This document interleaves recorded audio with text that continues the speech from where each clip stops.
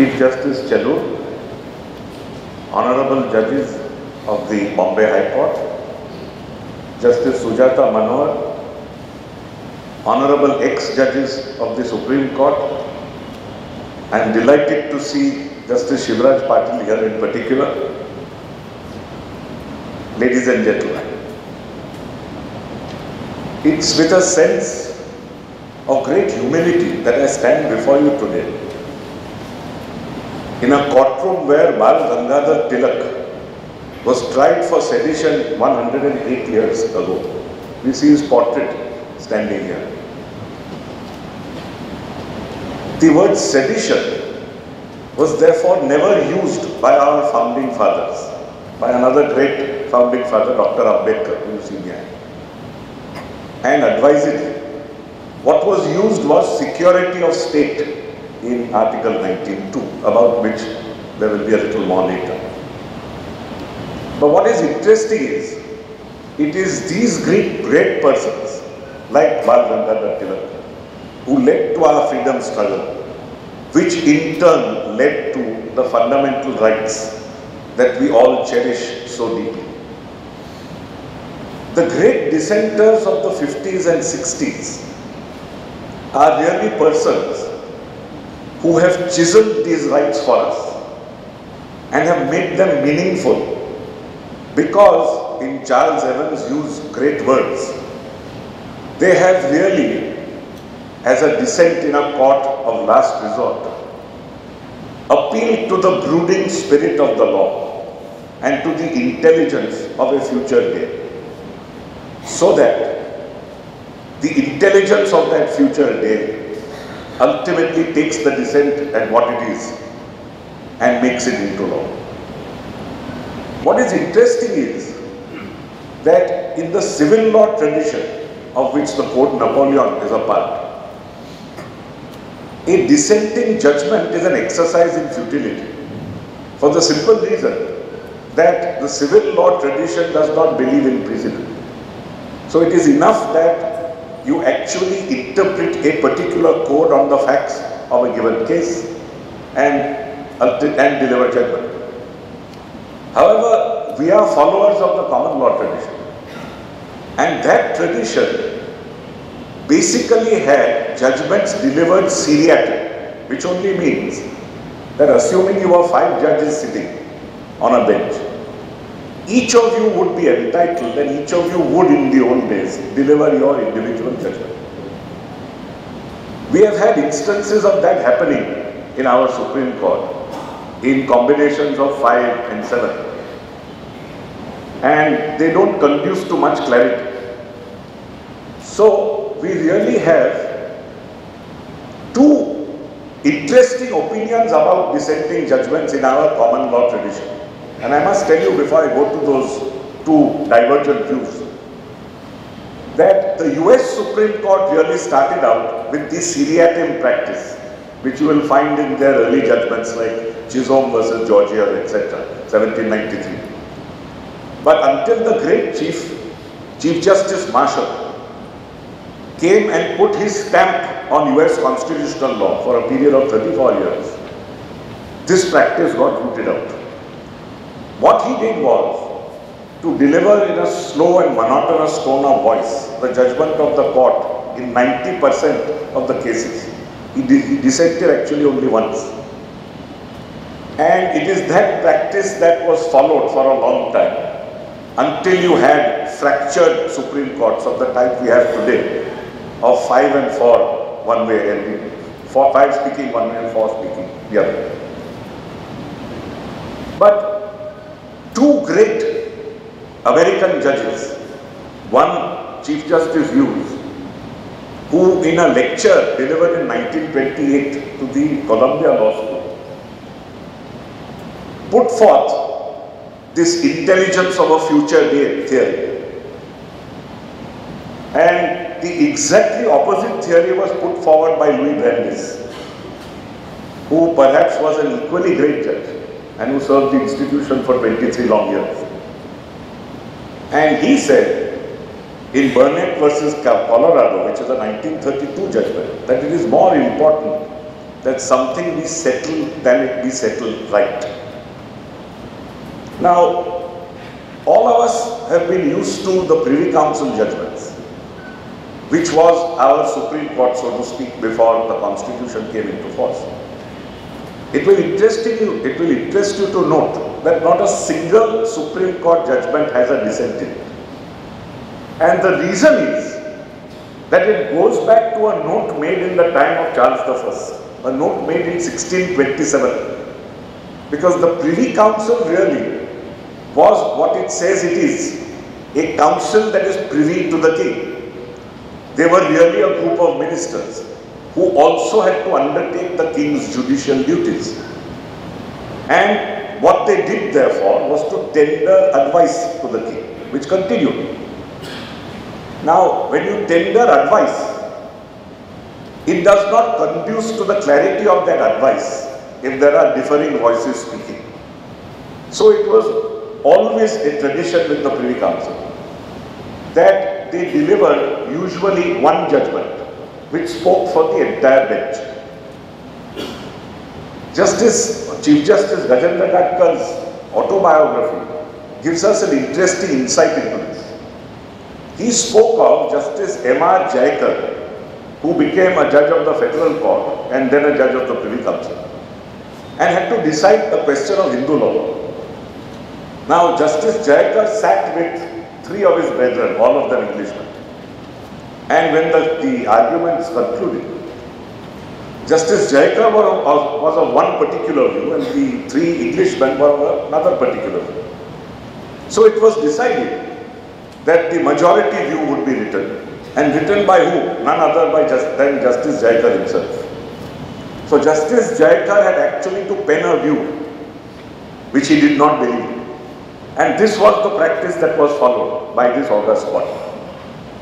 On the other hand, when we come to our court, we find that in a very early judgment, the Delhi Laws Act, delivered in 1950, all the seven judges who sat on the bench delivered judgments. And it was in musical terms a complete cacophony because one could not therefore discover an issue. And it took Justice Vivian Bose's brilliance five years later in Rajnarayan Singh's case to devise a new rule of precedent for this. And that new rule was that you look to the minimum that a particular judge has said and that other judges have built upon. And if you were to query the other judges, they'd say, of course, to the minimum, but they've gone further. So therefore, the minimum becomes the ratio. Now, it is this cacophony that Brandeis spoke about. In fact, Alexander Bickel has published a volume which is very interesting reading of all the dissents of Louis Brandeis which never in fact became dissents. Because he felt that you only dissented if you had to dissent and you were so strongly of the view that your view was right that you would put it forward. Some of his notable dissents are in the area of privacy, in the area of free speech, of which he was a great champion. For Harvard Law Review, which is an article which Brandeis wrote in 1890, actually is the fountainhead for all privacy law that comes thereafter. Now, each of these great men, Hughes on the one side and Brandeis on the other, were persons of very vast experience in so many walks of life. Charles Evans Hughes started out as a brilliant lawyer in New York, ran for the office of governor twice, was elected governor of New York twice, was then appointed on the Supreme Court of the United States in 1910 and served for six years. After which, like Chief Justice Subbarao here, he resigned in order to run for president. He ran for president, lost. Then continued his great law practice until Warren Harding in 1920 made him Secretary of State of the United States. This office he filled for four years. And after he demitted, he was appointed as a permanent judge on the Hague Court. At that point of time, there was the League of Nations. And when that tenure came to an end, he finally became Chief Justice of the United States in 1930 after William Howard Taft, who himself had been President of the United States and later became Chief Justice. This great man was 67 years old when he was appointed Chief Justice, one of the oldest, if not the oldest, and served as Chief Justice for 11 years. Now, it was this experience which led him to pen in these few words the importance of a dissenting judgment. The other view, an equally legitimate view of Justice Brandeis, was again by an extraordinarily brilliant person. I had already told you that he was not only a Harvard professor, but for Harvard Law Review is the one article one goes back to the moment you speak of privacy. He was also the master of what was called the Brandeis Brief, which meant that he prepared his facts and got facts marshaled in such a way that the inevitable conclusion would have to be on those facts. Which is why he said it's more important that the law be settled than it be settled right. It's the facts that really determine everything. This we've seen in the Delhi laws case, as I pointed out to you, and we also saw it during the emergency in the Indira Gandhi case, where a constitution bench consisting of five of the senior judges, each of whom delivered a particular judgment, telling us what he thought was the basic structure of the constitution, which had been laid down by a bench of 13 only two years ago. But short of these two, we find that there are a number of individual solo dissents, some of which were not only brilliant but had such foresight that they astonish one when one reads them today. Now, one such, and perhaps the greatest dissent of them all, is Justice Fazal Ali's dissent in Gopal. But before that, let me tell you that the first court, which consisted of eight judges, the strength was eight,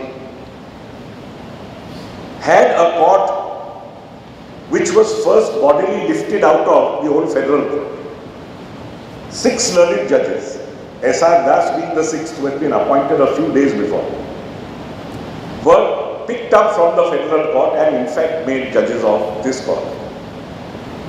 Chief Justice Kania headed it and but for an untimely death, the other three who were immediately after him, short of Justice Fazal Ali, would never have become Chief Justice. It would have gone straight to SIS. Followed by him was the great Fazal Ali, whose dissents I will speak about. In fact, his is an amazing record. He put in only two years as a judge. Uh, eight months of those two years being as an ad hoc judge because he joined when he was 63. And in those two years, he delivered six dissents. And of the six dissents, three became law. So this was really an outstanding man. Apart from him, you had Patanjali Shastri who came next, who had the encomium of being a dissenter as a Chief Justice the very first time. After Patanjali Shastri, you had the great tiger Mehr Chand Mahajan who dissented often. And after him, you had the gentle, scholarly, and brilliant B.K. Mukherjee, who also became Chief Justice and died in that post. And of course, S.R. Das, who became our Chief Justice later. But added to these six, which was the first call, you had Justice Chandrasekhar Iyer, and then the great Vivian Bose was the eighth. And in this first court, we already have two of the greatest dissenters that this court has ever known, Justice Fazal Ali and Justice Bose. Justice Fazal Ali came from a family, legal family in Patna, served as Chief Justice, and is perhaps the only judge that I know of who was continued both as Chief Justice after retirement age was reached and made an ad hoc judge after he reached the age of 65 in the Supreme Court. Gopalan's case was one of the very first things that hit this first bench. And it was a preventive detention case of a communist. It raised many, many vital questions of constitutional law. The most important question that it raised was, what exactly is the content and reach of Article 21? Article 21 was couched in a form somewhat different from the Fifth Amendment and the 14th Amendment of the United States. And both majority and minority deliberated on what it meant. The other very important point that arose before the court was whether you had to look at each fundamental right, article-wise, as a watertight compartment or whether they fertilized each other, so to speak. On both these counts, Justice Fazal Ali was way, way before his time. The majority held that Article 21 having been borrowed from the Japanese constitution, which was a new constitution, 1946, and having used the colorless words, procedure established by law, is colorless in content. Procedure established by law would have to be statutory law. And the moment a statute, like the Criminal Procedure Code, occupied the field, by and large, that was the end of your challenge. They also held that we cannot read Article 21 along with 22 or along with 19, particularly 19.1b, which deals with movement throughout the territory of India.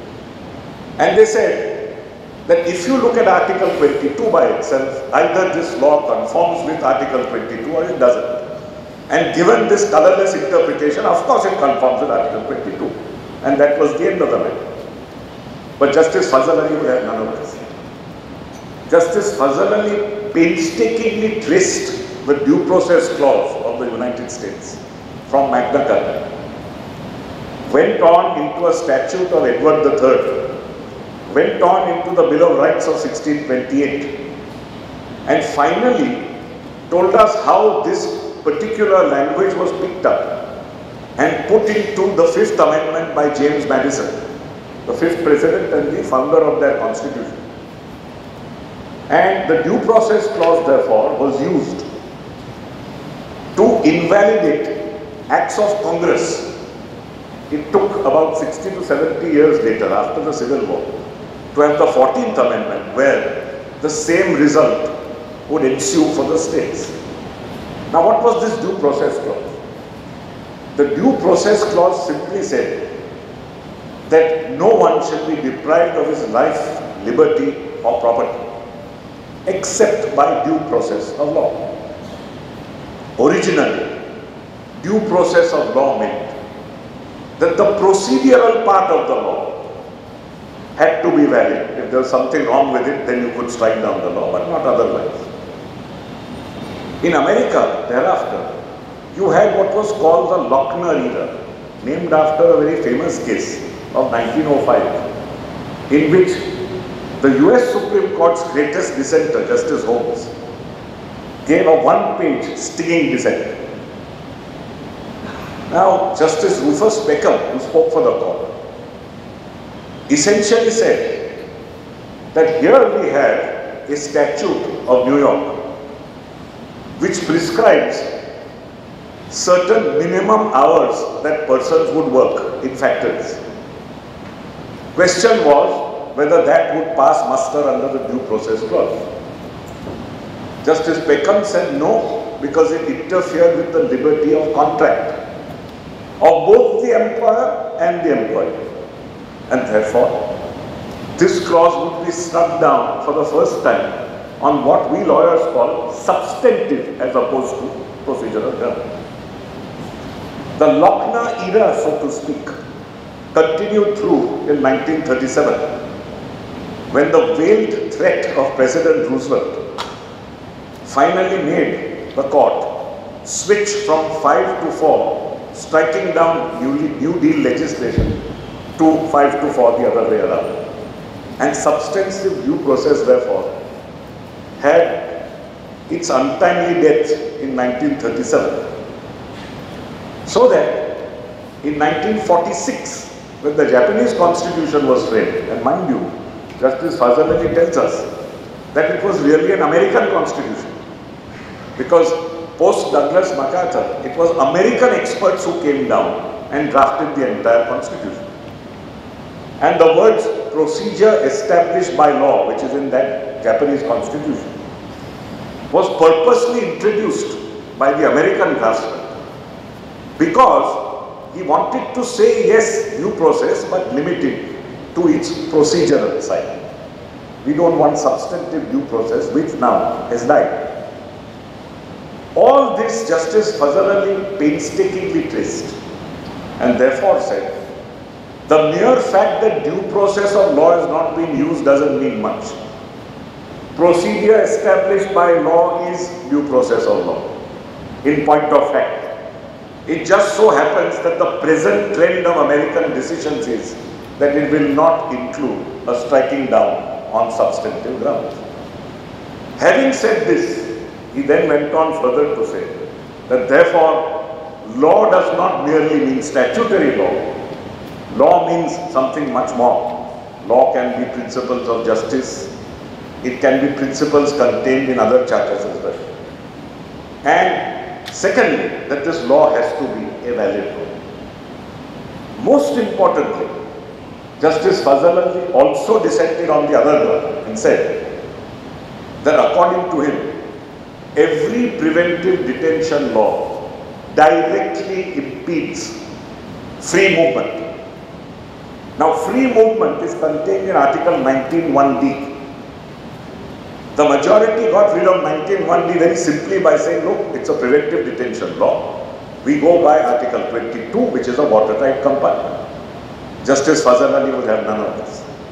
He said, not only do the safeguards in Article 21, 22, which are procedural safeguards, not only do these have to be followed, but substantively also the law must satisfy the reasonable restriction in public interest test, which we find in Article 19.5. So, this first judgment that was delivered had a brilliant judgment by this brilliant judge, which was way ahead of its time.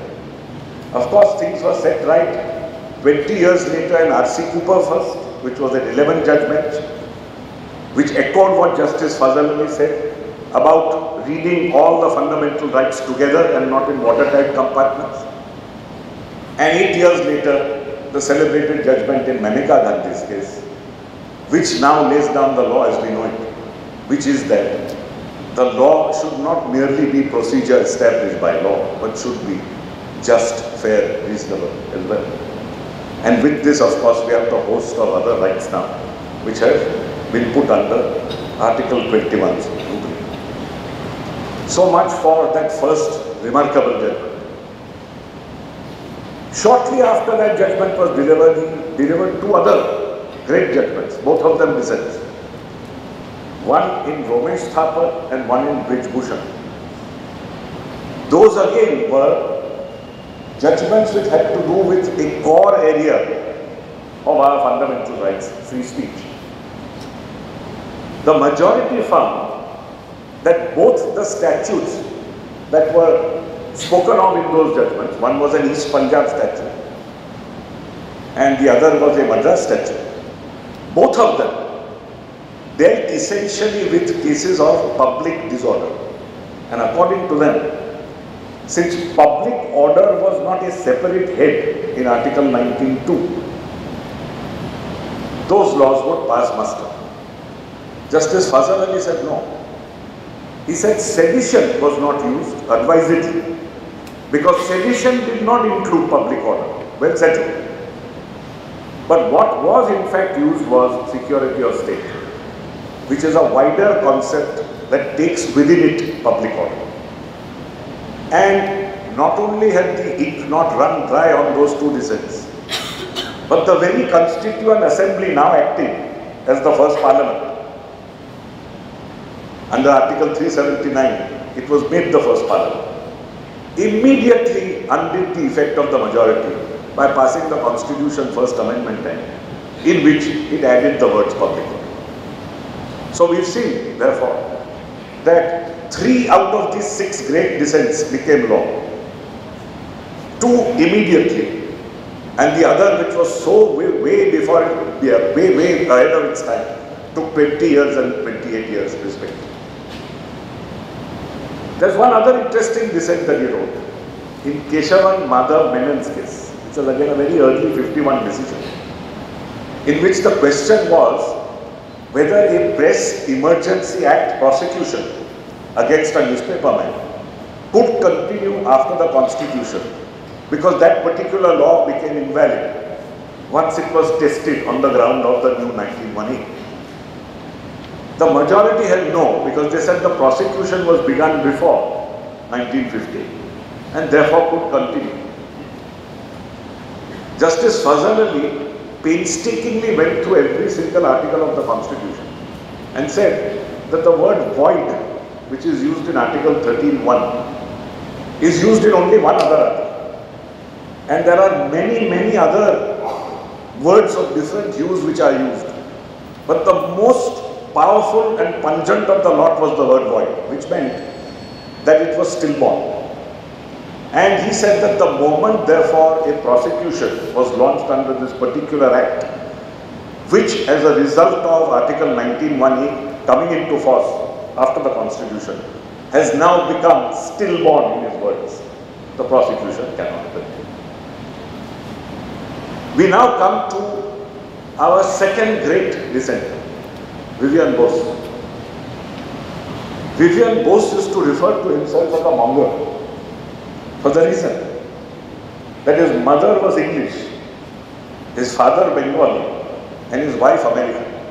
In point of fact, his father-in-law John Mott won the Nobel Peace Prize in 1946. Now this multifaceted personality believed in many things other than the law photography, magic are only two of the other small things that he pursued. He was also an avid car driver and drove all the way to London in 1932 alone from here and did the return trip in 1956 at a point of time when there was a gap between the time he retired and the time he was inducted again as an ad judge. This man's felicity with the language is well known, but what is not really appreciated, and by the way, none of his dissents became law. But what is not appreciated is his feel for the spirit of the Constitution. In a very early preventive detention case, in Ram Singh's case, he started off by saying, I am going to plow a lonely furrow. And then went on to say, that you must get past all the verbiage and go deep into the heart and spirit of the Constitution. And what does it tell us? It tells us that it was born from the freedom struggle. That's the first very important point he makes. And being born from the freedom struggle, it is something that one must cherish because we have adopted what he called simply as the free way of life. And it is this free way of life that we are now going to train. Therefore, get past all the verbiage. Ask a judicially trained mind, is this something fair? If it is not fair, strike it down. And in Ram Singh's case, therefore, he began with striking down a preventive detention law which amended that first act. Section 11 of that law said that even though an advisory board, which has to say that your detention order is good within a period of three months. So even though the advisory board says that your detention order is good, yet parliament which is supposed to fix an outer limit, only fixed as an outer limit the fact that the, the executive can fix whatever limit it likes. The majority upheld it on the specious ground that this is a temporary act, it's going to fizzle out itself the next year. Justice Bose would have none of this. and struck down section 11 of that act and consequently the detention. Another very early and beautiful decision of his is reported in S. Krishna, again a 51 judgment. And here again he dissented, again in a preventive detention case. And again with a provision that ultimately did not provide for a, a limit to the period to which a person could be detained. He likened it to a person being stuck in the Bastille. Now the Bastille is the symbol of the French Revolution.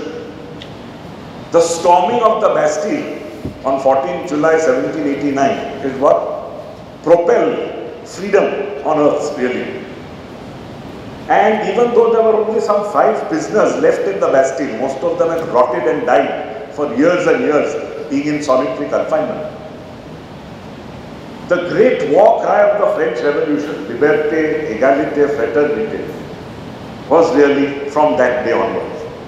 And that is equally the war, war cry of our constitution. If you see our preamble, they use these very words. Liberty of thought, expression, belief, worship, equality of status and opportunity, and finally the most important of all, fraternity. In today's day particularly, fraternity, which ensures the dignity of the individual first, and as a result, the unity of the nation. So it is these values that Vivian Bose felt very deeply and expressed in language more beautiful than any of us can conceive. The next case, the next case in fact another great dissent was in the cases which came from West Bengal and which concerned Article 14, the equality provision. And one was Anwar Ali Sarkar, one was Kangshari Haldar. Both of them dealt with special courts acts by which certain serious offences could be picked out and tried not only by a special court but without the usual safeguards. He dissented in both these judgments and basically said that we have chosen the free way, our constitution must be good for, as he beautifully put it in Bidi Supply years later, the butcher, the baker and the candlestick maker, which is that is for you, it's for me. It's not for lawyers, it's not for judges, it's for ordinary citizens. And in Kangshari Haldar, he spoke of the concept of reintroducing a star chamber into this land. The star chamber, incidentally, was something which had its origins in the Tudor dynasty. If you read English history, you find that a French dynasty, in fact, at no point since 1066 had the English been ruled by the English. They've been ruled by the French, they've been ruled by the Welsh, they've been ruled by the Scots, finally by the Germans. So we had this long period from William the Conqueror right up till the Battle of Bosworth in 1485 when Richard III was the last Plantagenet king was finished. And Henry VII, who is the first Tudor king, comes in. Within two years, he introduces what is called this Star Chamber, which took its name from the stars on the ceiling. And this chamber was really to introduce justice back into the law because by then the nobles were more or less above the law. And Henry VII, the new king, the Welsh king who came, wanted to enforce the law against the rich and the poor alike. So it started very well on a good foot.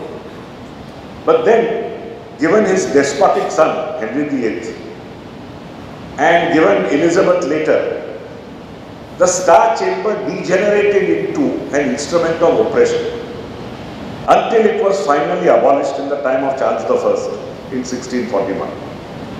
And it was this Star Chamber that Bose was speaking about, this latter day Star Chamber, in which arbitrary punishments were inflicted on all and sundry. So it is conceptually beautiful to see how these early judges used their knowledge of history. We see that judges like Justice Hidayatullah also used their knowledge of Greek mythology, apart from other things. But these early judges used well-known concepts in English law in order to buttress what they thought would be going down a wrong corridor, as Justice Bose put it. Another interesting dissent comes to mind.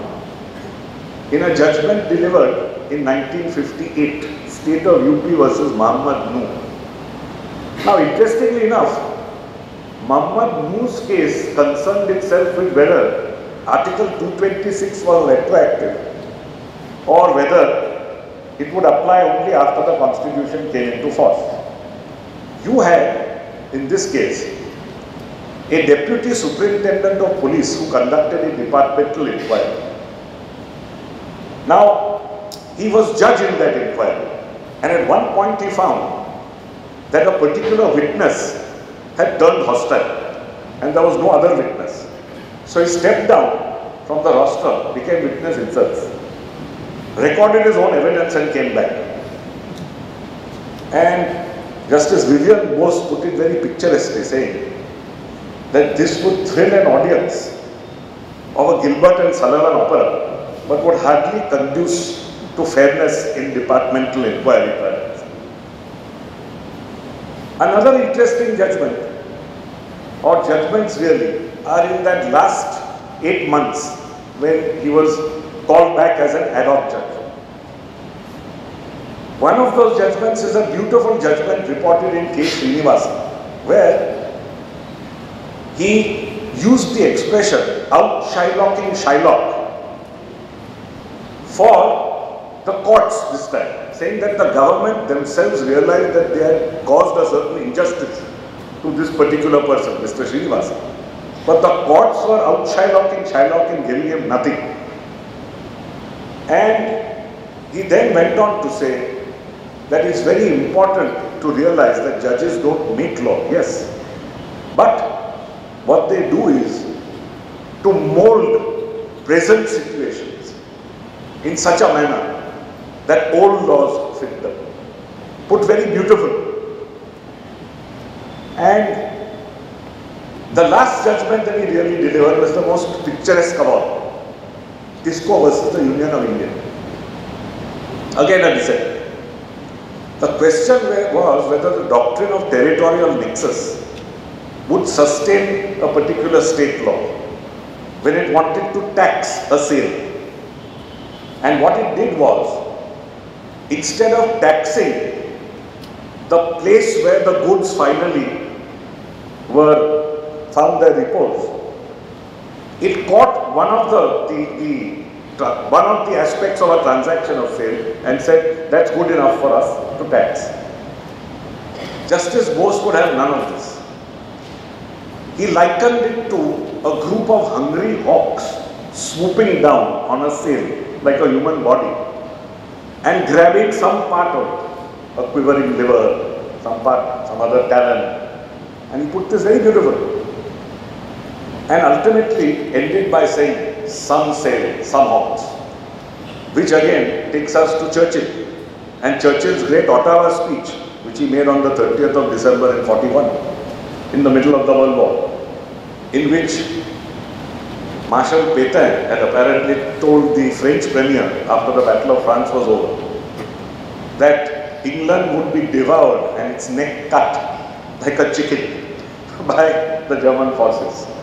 At which point Churchill said, some chicken, some neck, because by then they'd staved the German Operation Sea Lion off. The other interesting thing that he spoke of in this TISCO judgment was to liken a sale to a dog and said, you can't just catch a dog and say, I am taxing the dog when actually you are taxing its tail or you are taxing its head or you are taxing some other part of its body or you are taxing where the owner should have been and ultimately said sorry that this law cannot pass muster.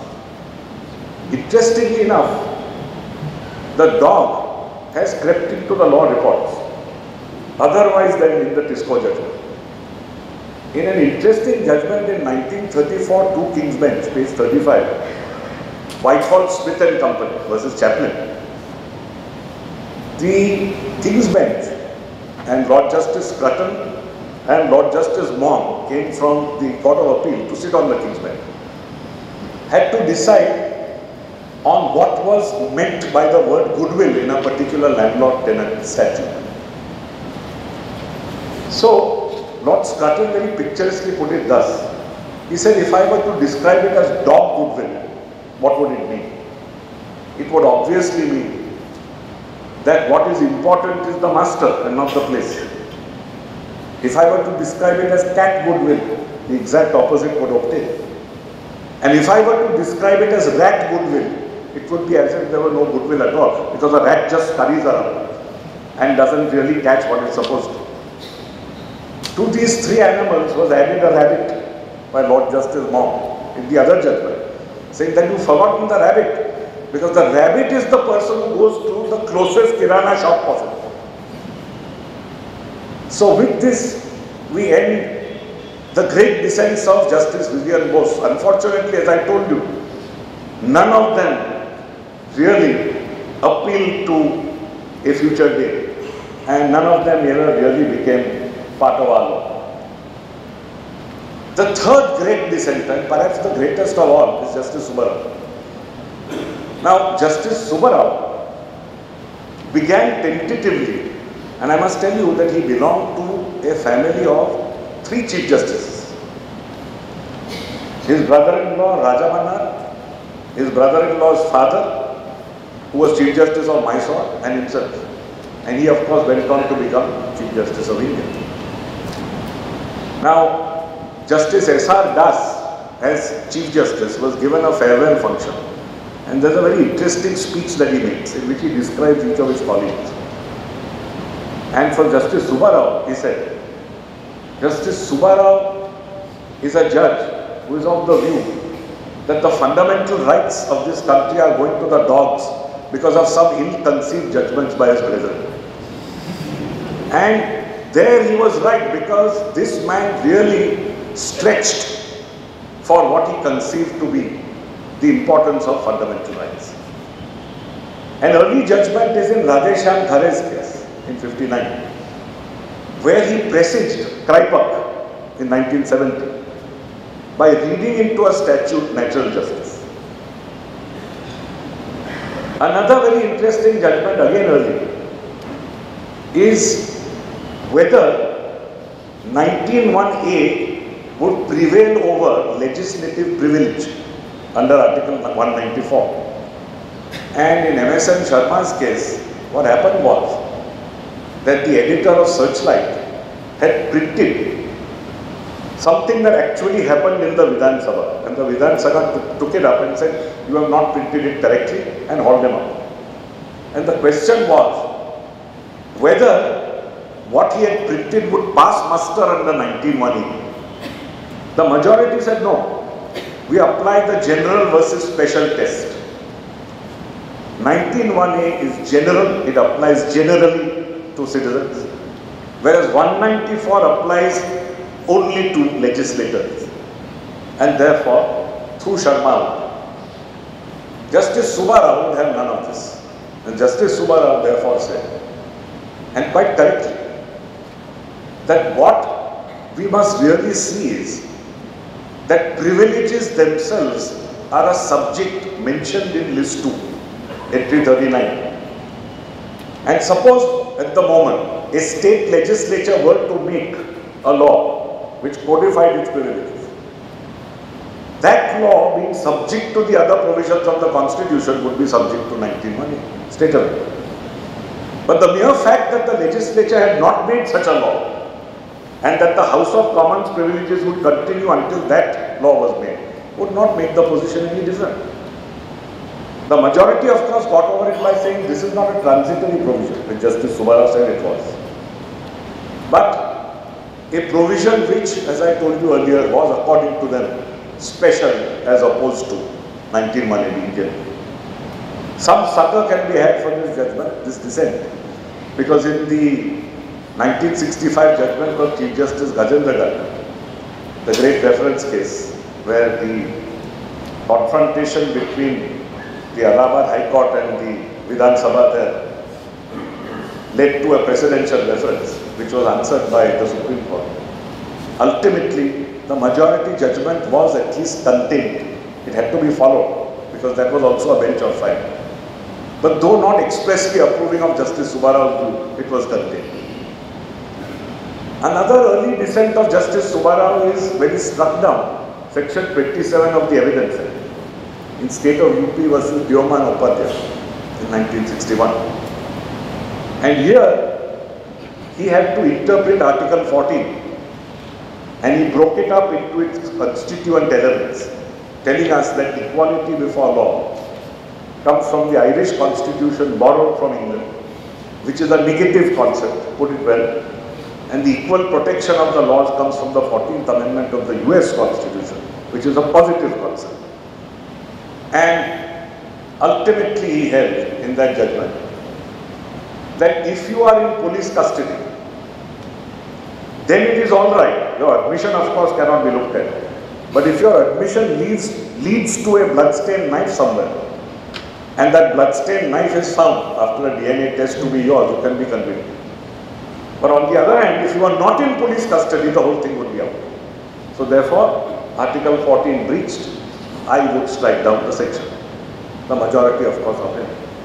And therefore, people with bloodstained knives still get convicted even though there may be no other proof. This then leads to another facet of Justice Subbarao's mindset. On federalism again, he was very pro-state. He was pro-state against center, one of the few judges. And one of his early judgments on federalism was the Gujarat University case, a 1963 judgment where the Gujarat University had prescribed Gujarati as an exclusive, exclusive medium of instruction. The majority, Justice Shah speaking for the majority, struck it down and said mediums of instruction, particularly in institutions of higher learning like the university, would go straight to NP 66 list 1, being coordination and determination of standards for education and on a rather strained construction struck it down. Justice Subbarao would have none of this and said no, entry 11 which at that point of time was in the state list was good enough to speak of all education including higher education and coordination and determination of standards had nothing to do with language being a medium of instruction and therefore it would be well within the state legislature's power to pass this law. This is the only case of a dissent which I know,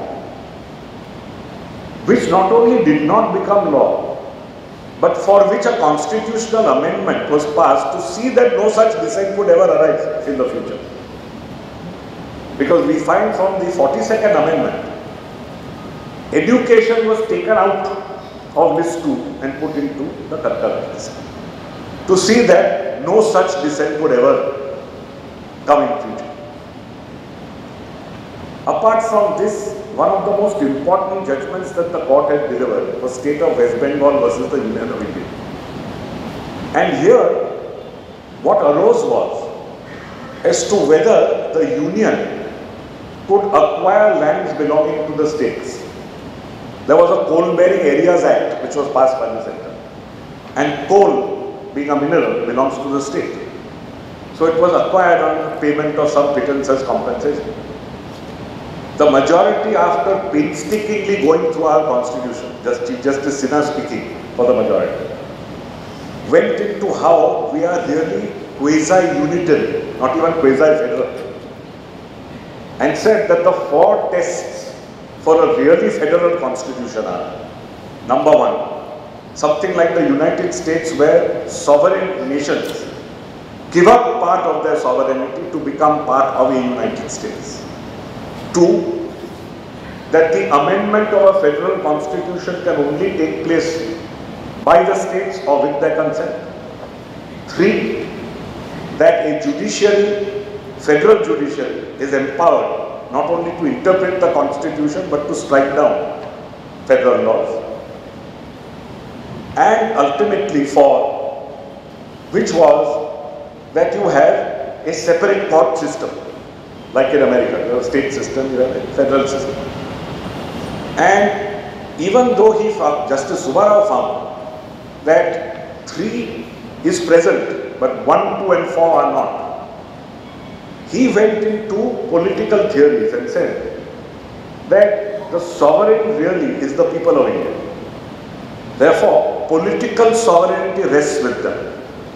Legal sovereignty, on the other hand, is given by the constitution to these two great organs, one the center, two the states. And each is sovereign in its sphere. Now, each is going to be sovereign in its sphere. Obviously, one sovereign cannot gobble up the land of the other. And therefore, he came to the conclusion that short of an agreement, entry 42 list 3 will not avail the Union of India. This again was a great blow struck in favor of the states but which never ultimately fructified. And with this, we now come to the fourth great dissenter of this era, Justice Hidayatullah. Justice Hidayatullah was a very colorful personality and straddled three decades. He was appointed in 59, he limited office in 1971. He also straddled three offices because not only was he Chief Justice of India, he was acting President and then Vice President as well. He was one of the very young Advocates General to be appointed in Nagpur and had one of the longest tenures on the court as well. I think at 12 or 13 years. And perhaps Justice Bhagwati and Justice Chandrachud had longer tenures.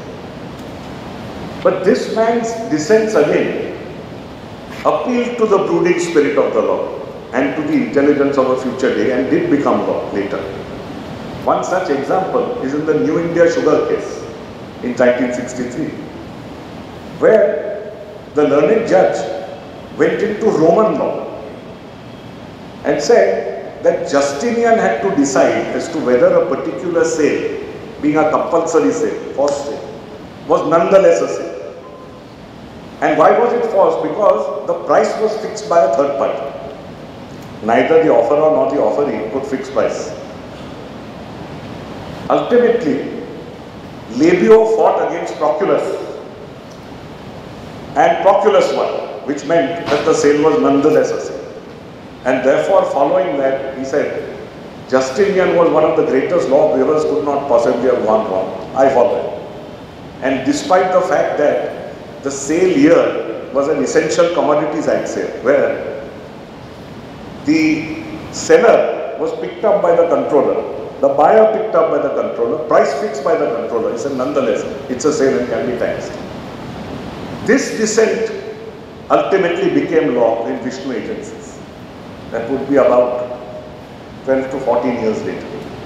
Chief Justice Chandrachud at that point writing for the majority. Another very interesting judgment of Justice Hidayatullah's is the judgment dealing with offer and acceptance in contract. Bhagwan Das Kedia.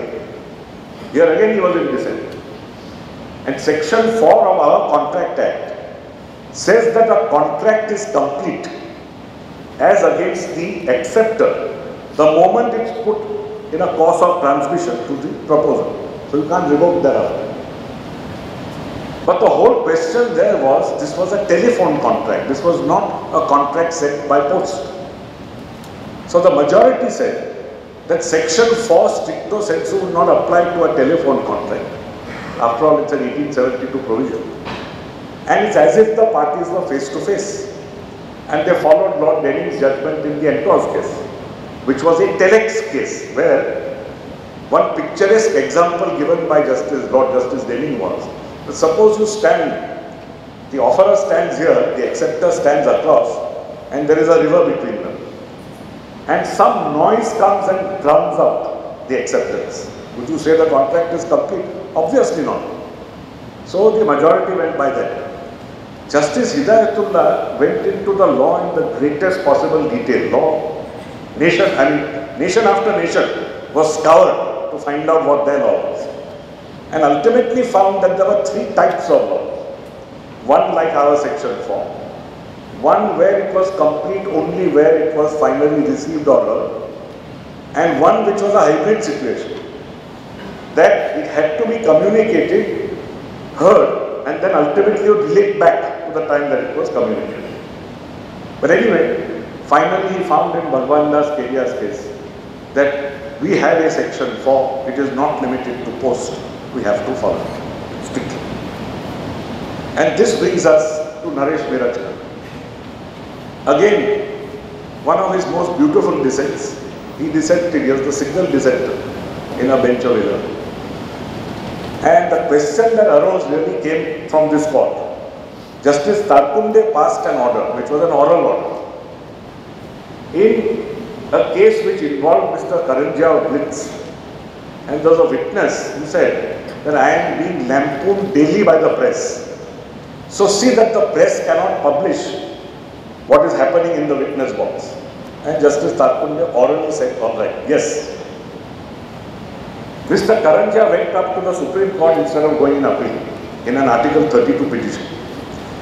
And petitioned the court saying that my 191A right has been infringed by this particular judge of this particular High Court.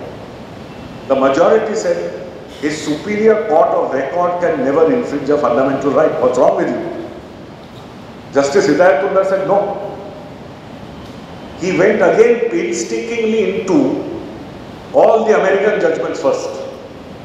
Then went into our Article 12, which defines state, which is, by the way, is an inclusive definition. And then said, of course, the judiciary can violate fundamental rights. What's Article 20 all about, for example? It is aimed only at the judiciary. He then said, that high courts in this country are subordinate to the Supreme Court. I'm not very sure whether he was right there. But he said, therefore, a writ of certiorari could go from a higher court to this lower court, which is the high court, and then be no problem. Writs in his picturesque language can go up, down, but not sideways. So a high court cannot issue a writ to her. But then the question remains, suppose the Supreme Court itself were to pass such a law. Under Article 32, no such writ. But anyway, that was again one of his great dissents. There is remarkable reasoning in it. And all in all, he was again a judge who was a thinking judge because he came out with very interesting things, as I told you, in Greek mythology in this. He spoke of a Procrustean bed. He also spoke of a Sisyphean task. Now, Procrustes was the son of the god Poseidon, who was the sea god. And a Procrustean bed is a bed which a person is made to fit into. If your legs are too long, Procrustes saws them off. And if you are too short, you are stretched into the bed. So the point is that you are inflexible. And the other interesting thing he spoke about was a Sisyphean task. Now Sisyphus was the king of Corinth who was condemned and condemned because of some wrong he had done to roll a boulder up a hillside.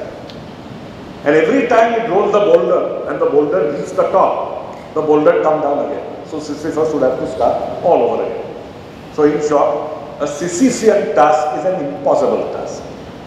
So there are many things which pepper these judgments with this kind of learning which makes them very interesting. In another judgment, for example, in the Abbas case and in the other uh, Lady Chatterley lovers case, where he followed the Hicklin test, he went into the law of obscenity from the very beginning and said it really started with some rake called Sir Charles Sedley, in Charles the second style, who bared his bottom at some tavern and was sued for obscenity from which this law is now finally derived. Anyway, with that, one can go on and on of course.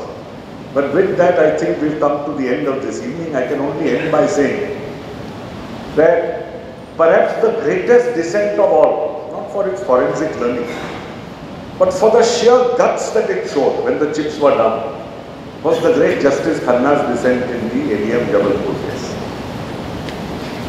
He ended, by the way, with the words of Charles Evans Hughes. And it didn't take long for his judgment to become law because the 44th Amendment amended Article 359 and made it clear that Article 21 cannot now be suspended during an internal emergency.